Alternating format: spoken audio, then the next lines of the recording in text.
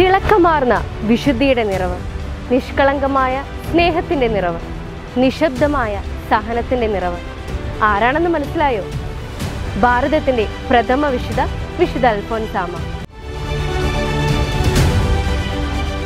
മറ്റുള്ളവരുടെ ജീവിതത്തിൽ വെളിച്ചമാകാൻ സ്വയം ഒരുകിത്തീർന്നവർ വിശുദ്ധ അൽഫോൻസ.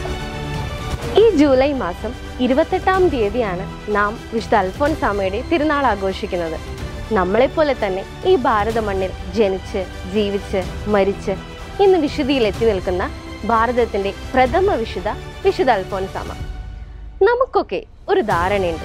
ഈ വിശുദ്ധരുടെ ലൈഫൊക്കെ ഭയങ്കര ടഫാണ് അതങ്ങനെ ഇമിറ്റേറ്റ് ചെയ്യാനൊന്നും കഴിയില്ല. അതുകൊണ്ട് സാധാരണക്കാരായ നമുക്ക് ഇതൊന്നും കഴിയില്ല. ഏത്? ഈ വിശുദ്ധരാവാനും.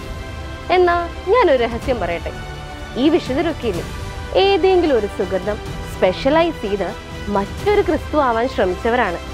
അതുകൊണ്ട് നമുക്കൊക്കെ ഒരുപാട് സാധ്യതകളുണ്ട് വിശുദ്ധരാകാൻ. വിശുദ്ധ അൽഫോൻസാമയുടെ തിരുനാളിന് ഒരുക്കമായിട്ടുള്ള ഈ നോവേന ദിവസങ്ങളിൽ നമ്മുടെ അൽഫോൻസാമ ഈശോയുടെ സ്വന്തമായി ജീവിക്കാൻ വേണ്ടി എടുത്ത ചില നിലപാടുകളും അതുപോലെ എങ്ങനെ ആ സ്നേഹത്തിൽ നമ്മുടെ തമ്പുരാൻ സംപ്രീതനായെന്നും വിശുദ്ധ അൽഫോൻസാമയിൽ നിന്ന് നമുക്ക് പഠിച്ചെടുക്കാൻ പറ്റുന്ന ചില മാതൃകകളും നമുക്ക് ഡിസ്കസ് ചെയ്യാം. അങ്ങനെ ഒരുമിച്ച് പ്രാർത്ഥിച്ചും നിയോഗങ്ങൾ സമർപ്പിച്ചും ഈ തിരുനാൾ നമുക്ക് മനോഹരമാക്കാം.